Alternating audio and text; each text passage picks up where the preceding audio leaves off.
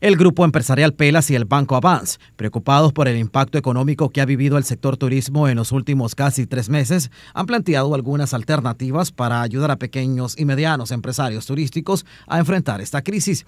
Es por ello que el Banco Avance está desarrollando un plan especial de crédito a estos empresarios.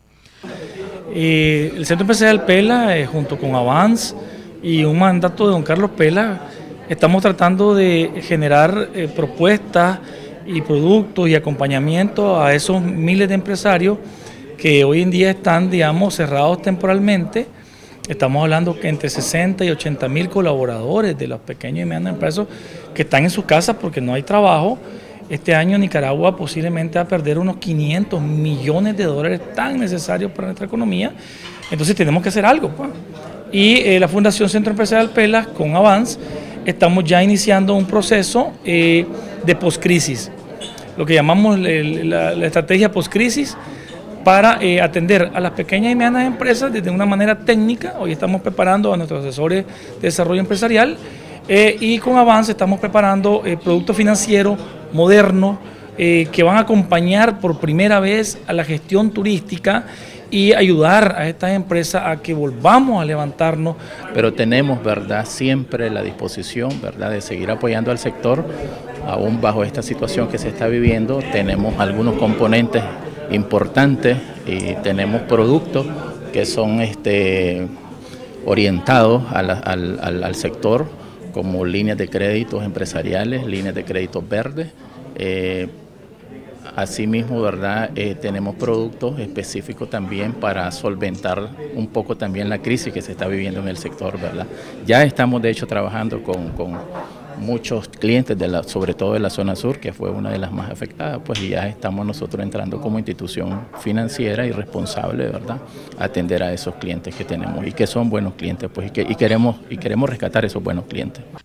Además, en conjunto con el grupo Pelas, invitaron a José María de Juan Alonso, un especialista en temas de turismo en crisis, para brindar recomendaciones a este sector de cómo enfrentarlo. Pero lo que yo les he insistido mucho, que creo que ha sido un fallo, es que no se ha contado nada. Es decir, el sector turístico nicaragüense, y eso ya lo estamos arreglando de alguna manera, mientras ha durado esta crisis, no se ha dirigido al mercado a contarle, estamos bien, estamos mal, estamos operativos, eh, queremos seguir trabajando. O sea, ha habido como un silencio absoluto. Entonces eso es, eso es lo que también hemos pensado que es malo, que es mejor decir, tenemos problemas, hay que contárselo al mercado, hemos hecho pequeñas mejoras, hay que contárselo al mercado, seguimos operando al 10%, hay que contárselo al mercado, pero es que no, se ha contado nada. Entonces, la, claro, si tú estás en el mercado europeo, que es donde estoy yo, eh, y de pronto ves las cosas que están ocurriendo en el país y el sector turístico no te dice nada, de nada, de nada, lo que tienes es una tremenda incertidumbre. Tú no sabes, están operando, están sin operar, los turistas siguen llegando, ¿qué está pasando allí? Porque ha habido como un silencio absoluto. ¿no? Los empresarios turísticos de diferentes ramas, turoperadoras, turismo receptivo, hoteles y restaurantes, se mostraron optimistas y aplaudieron esta iniciativa del grupo empresarial Pelas. Nosotros estamos en toda la disposición de acompañarnos con organizaciones que por supuesto están trabajando y están apoyando al sector turismo. La propuesta eh, para el sector turismo por supuesto es bienvenida.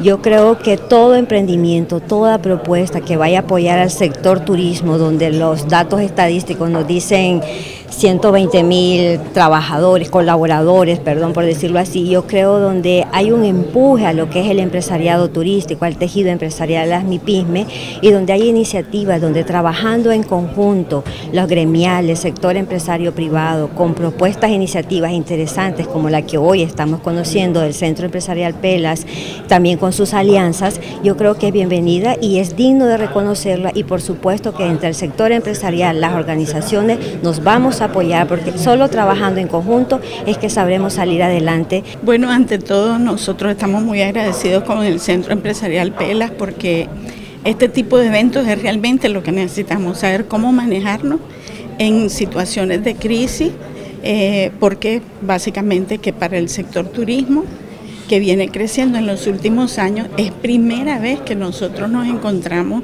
en una situación como esta donde hay cierre de aproximadamente el 70% de hoteles a nivel nacional. Hasta el primer trimestre de este año, el turismo mostraba cifras alentadoras, pues el gasto y la estadía promedio diaria aumentaron a 5.8%, según la encuesta de turismo publicada recientemente por el Banco Central de Nicaragua. Les informó Héctor Rosales.